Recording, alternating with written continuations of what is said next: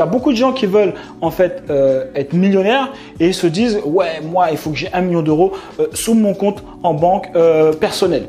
Ok, c'est possible à la limite quand vraiment tu fais des millions et des millions par mois, tu vois, je sais pas que tu es un million sur ton compte société à la limite, ton compte société, mais ton compte perso c'est impossible que, que tu aies un million d'euros par mois, que tu aies un million d'euros sur ton compte en banque. Ok? Tout simplement, pas parce que tu, c'est pas possible. Hein. Enfin, je te dis, c'est pas possible.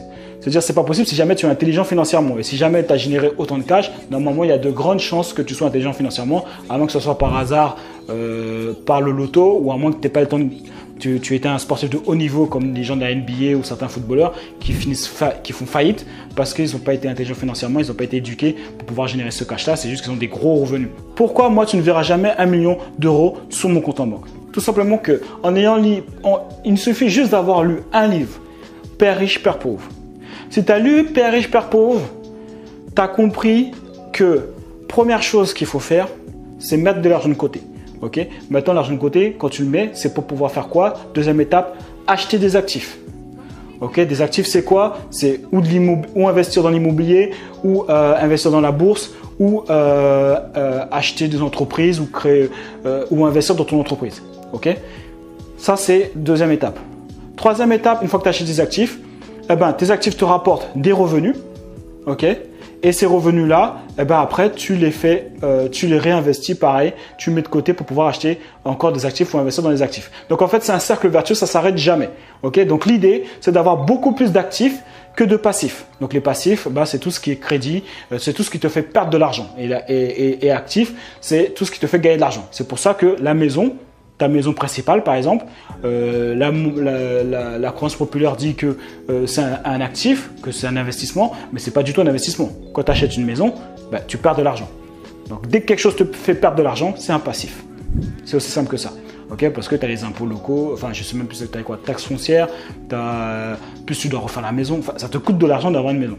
Tout simplement, enfin ta résidence principale. Donc, tout simplement, pourquoi euh, moi, tu verras jamais un million d'euros sur mon compte? Parce qu'il sera toujours placé. Il sera toujours placé dans un actif. Et tous les riches, eh ben, ont leur argent placé dans leur actif. Ils n'ont pas un million sur leur compte. Mark Zuckerberg n'a pas un million sur son compte perso pour pouvoir utiliser. C'est son entreprise qui est valorisée à tant et tant de, milliards même maintenant. Ok? Et pareil pour tous les riches que tu connais. Ils n'ont pas un million ou des milliards sur leur compte. Il va falloir qu'ils vendent leur, euh, il va falloir qu'ils vendent leur actif que ce soit si c'est des parts de la société, il va falloir qu'ils vendent leurs parts de société pour pouvoir récupérer l'argent directement. Mais ils n'ont pas de l'argent comme ça qui dort euh, euh, sur un compte qui sert à rien, tu vois, sur un compte perso ou un compte euh, société, tu vois. Société, bon, s'il y a beaucoup de flux qui rentrent, voilà, les gars sont milliardaires, donc il peut avoir beaucoup d'argent qui rentre, mais ça va vite être redispatché sur des actifs clairement, que ça soit même que soit dans le marketing de l'entreprise, donc ils réinvestissent dans leur actif, dans leur entreprise, dans leur business, ou que ça soit euh, dans de l'immobilier, dans du trading, mais en tout cas, l'argent ne sera jamais resté, ne reste jamais stocké à un endroit. D'accord? L'argent, en fait, si jamais il bouge pas, il a aucune valeur.